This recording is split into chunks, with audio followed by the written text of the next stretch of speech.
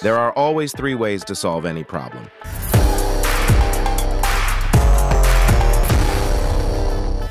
Many people, when they encounter an obstacle or a problem that needs solving, are not necessarily unthinking or unintelligent, but they often approach the problem from a single perspective. What does a single perspective mean? It means always using one's own thoughts to solve one's own problems. We always say that when solving a problem, there are at least three methods.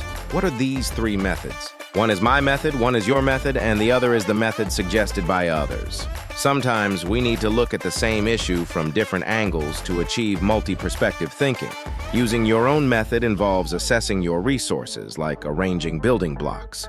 You might arrange them in various sequences like 123, 231, 312, or the smartest way, 111, 222. However, this is just rearranging the same three blocks repeatedly.